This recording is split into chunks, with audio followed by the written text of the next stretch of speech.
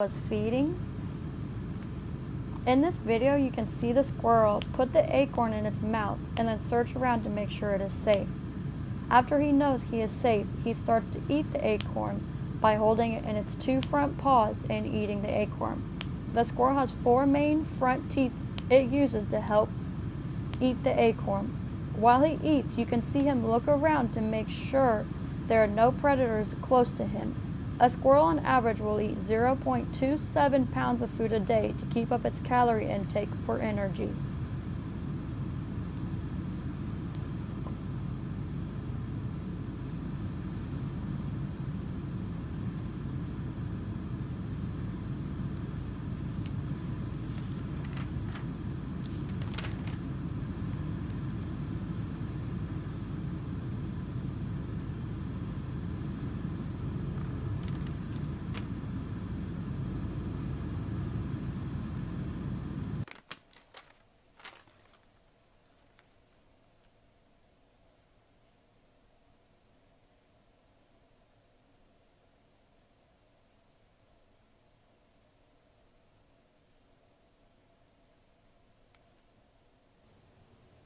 In this video, I took it at 6 o'clock in the morning when the squirrel first wakes up and knows it has to eat.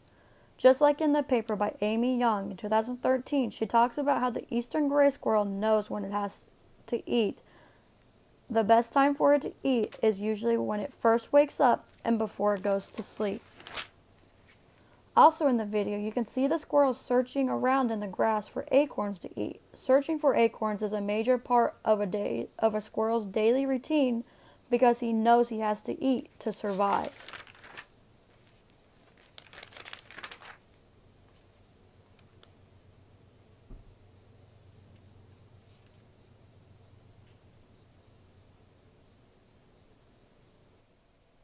Four levels analysis hypotheses. Causation. The eastern gray squirrel knows when it is hungry because the neurons in its brain lets it know it is time to eat. Development. Younger squirrels observe and learn from their parents' feeding habits, and as they get older, they start doing those same feeding habits. For example, in the article by Joel Brain, 2018, he discusses chimpanzees and how when they're young, they learn from their parents. Evolution. Squirrels inherit from their ancestors and need to eat a certain amount of food a day. Like in the article by Jeffrey Dempsey in 1993,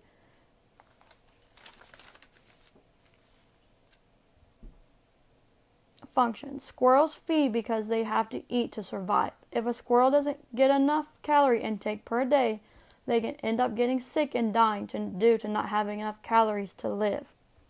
In 2018, Aaron Johnson talked about the competition of squirrels and their energy intake to survive.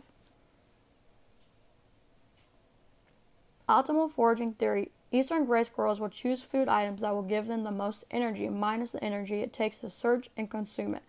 This is why they choose acorns to eat. They are generalists. They can be adapted with food when they need to be. They are solitary animal because they live alone, unlike other types of squirrels.